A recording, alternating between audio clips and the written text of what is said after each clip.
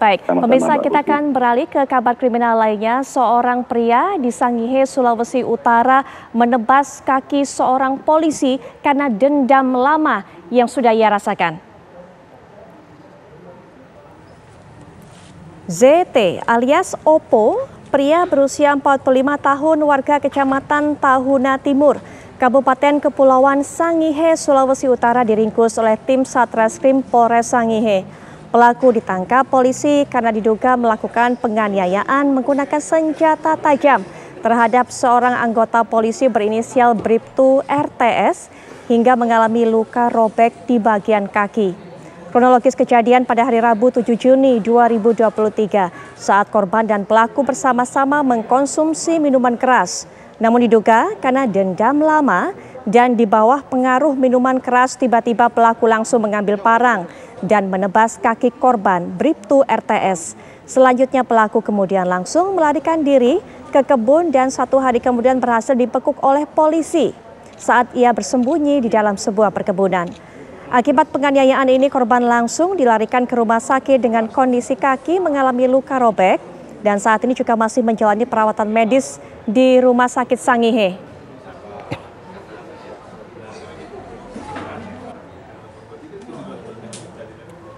Dan pemirsa kita juga akan dapatkan keterangan lebih lanjut mengenai peristiwa ini dari Polres Sangihe. Kita sudah terhubung dengan Ibda Erik Rivaldi Adilang. Selamat malam Pak Erik.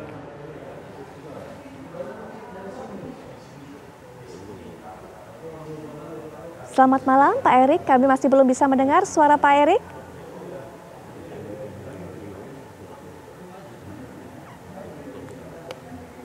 Pak Erik, Pak Erik bisa mendengar suara saya? Baik, kami coba perbaiki hubungan jalur komunikasi kami dengan Pak Erik, tapi kami juga akan bawa Anda kembali untuk bisa melihat apa yang terjadi. Jadi ketika minum minuman keras bersama seorang pemuda ini dengan seorang anggota kepolisian, kemudian di akhir acara minum-minum tersebut, pemuda tersebut menebas kaki anggota polisi tersebut karena dendam membara yang dirasakannya. Kita akan nanti tanya lebih lanjut lagi kepada perwakilan dari Polres Sangihe. Dendam apa sebenarnya yang membuat pelaku ini menjadi gelap mata dan juga menebaskan senjata tajamnya ke kaki dari Bribtu RT. Ini kejadiannya pada hari Rabu 7 Juni lalu. Korban dan juga pelaku ini sama-sama di bawah pengaruh minuman keras. Kemudian pelaku mengambil parang dan langsung menebaskan ke kaki Bribtu RTS. Baik, kita sepertinya juga sudah terhubung kembali dengan Ibda Erik Rivaldi Adilang. Pak Erik sudah bisa mendengar suara saya? Selamat malam, Mbak. Selamat malam, Pak Erik. Kami sudah bisa mendengar suara Pak Erik dengan jelas sekarang. Pak Erik, dendam apa sebenarnya yang dirasakan ataupun juga dialami oleh pelaku ini sehingga kemudian sampai nekat menebas kaki rekannya ini? Baik, Bu. Uh, untuk sekarang ini yang dapat saya jelaskan, Bu. Untuk kronologis kejadian yang sudah disampaikan tadi, kemudian kami dengan sigap melakukan penyelidikan dan menangkap pelaku dan sampai saat ini untuk dendam maupun motif belum kami temukan sehingga saat ini sedang kami dalami dan lakukan penyelidikan terkait motif terjadinya penganiayaan tersebut Bu. Pak Erik, apakah pelaku ini sudah merencanakan, jadi sudah membawa parang dari rumah, memang sudah berjanji bertemu atau mengajak bertemu korban, memang dengan niat awal untuk melukai atau menganiaya korban tersebut?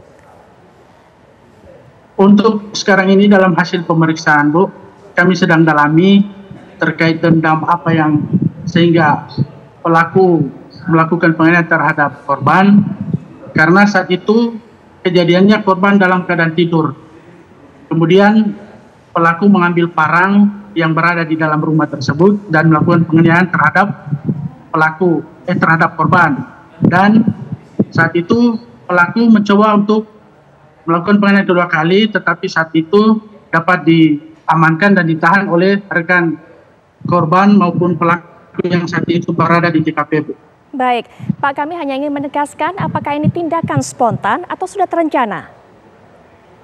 Untuk sekarang ini yang hasil penyelidikan yang kami lakukan saat ini bahwa pelaku melakukan penganiayaan terhadap korban spontan Bu dan sedang didalami motif yang apa yang sehingga mengakibatkan pelaku melakukan penganiayaan terhadap korban.